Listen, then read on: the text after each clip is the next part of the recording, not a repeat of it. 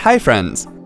The DGET function in Microsoft Excel is used to get a single value from a field of a list or database that matches the condition specified by you. Do you want to know how you can use the DGET function in an Excel worksheet? Here are the steps to do so. Open the desired Excel worksheet. Select the cell where you want to get the function's result. Click on the Insert Function button. In the Search for a Function box, type DGET and then click on the Go button.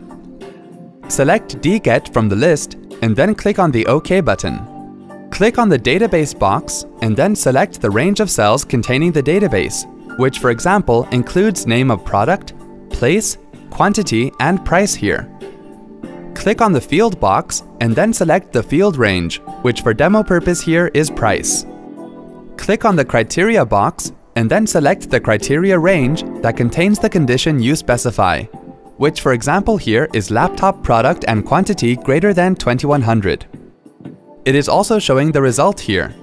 Click on OK to get the result. See? That wasn't hard at all. Thanks for watching. For more details, click on the eye icon on the top right of the video.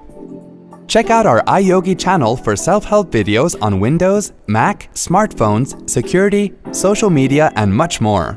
Have something to ask or share? Pen it down in the comments.